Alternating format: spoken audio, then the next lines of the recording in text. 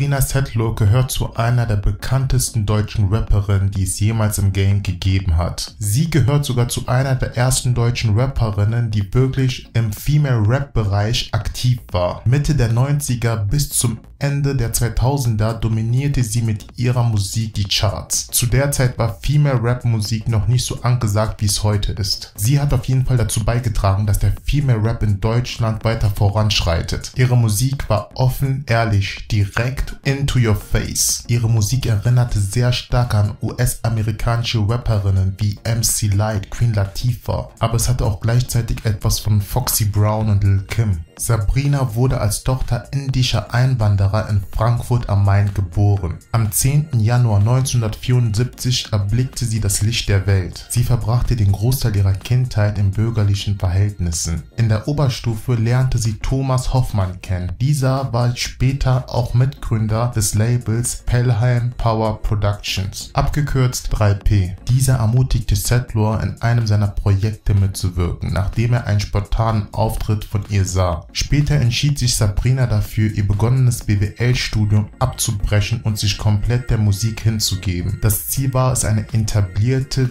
deutsche, bekannte Rapperin zu werden. Sie war jung, hungrig, verspürte das Feuer in ihr und wollte in der Musikbranche mitmischen. Etwas Neues ausprobieren, etwas Neues in dieses Game reinbringen. Sie unterschrieb also beim jungen Independent Label 3P. Sie arbeitete mit ihrem Produzenten und gleichzeitig Labelchef an einem Sound. Außerdem entwickelte sie einen Pseudonymnamen, Schwester S. Hier kommt die Schwester Pass war ihre erste Single. Diese Single konnte leider nicht in den deutschen Media Control Charts einsteigen, jedoch wurde es zu einer Art Introduction. Sie konnte sich langsam und sicher eine Fanbase aufbauen und in der Underground-Szene einen Namen machen. Die zweite Single, ja klar, konnte in die deutschen Charts einsteigen. Es landete auf Platz 14 und war damit ein Erfolg. Im Februar folgte dann das Album Es ist soweit. Das Album landete auf Platz 11 der deutschen Albumcharts und konnte sich somit sehr gut platzieren. Im darauffolgenden Jahr gewann Sabrina ein Echo für die Kategorie Künstler National und bekam dazu noch ihre eigene Radiosendung. Tüchtig arbeitete sie mit ihrem Produzenten am zweiten Album. 1997 erschien dann das zweite Album, die neue S-Klasse. Dieses Album ist bis zum heutigen Tag das erfolgreichste Album, was sie bislang veröffentlicht hat. Dazu kommt hinzu, dass es zu einer der erfolgreichsten Female Rap Alben gehört, die es bislang in Deutschland gegeben hat. Das Album landete auf Platz 10 gesehen und konnte sich bis zum heutigen Zeitpunkt über 300.000 Mal verkaufen. Dank der Single Du liebst mich nicht, die auf Platz 1 der deutschen Singlecharts landete, wurde das Album ordentlich gepusht.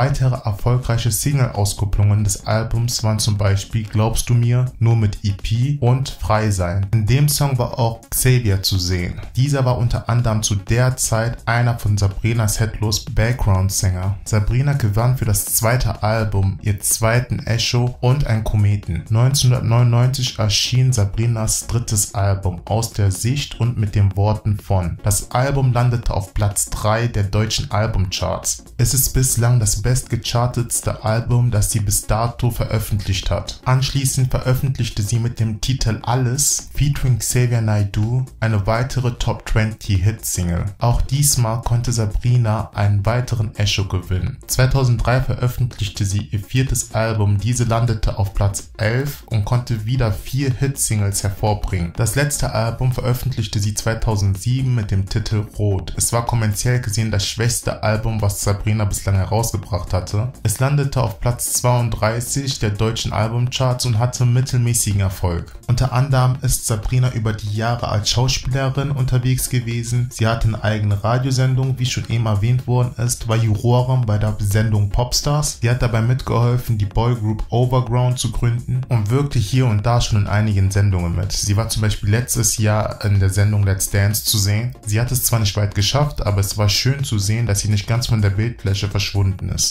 Im Laufe ihrer Karriere machte sie auch große Schlagzeilen, weil sie eine Zeit lang mit dem Tennisspieler Boris Becker liiert war. Doch mit der Zeit trennten beide sich und jeder ging seine eigene Wege. Ich hoffe, das Video hat dir gefallen. Wenn ja, dann hinterlass mir einen Daumen nach oben, abonniere meinen Kanal, damit du keine weiteren Videos verpasst. Du darfst mir gerne in die Kommentarsektion schreiben. Vergiss nicht, mir auch zukünftig auf Instagram zu folgen. Das würde mich sehr freuen. Wir sehen uns beim nächsten Mal. Bis dann.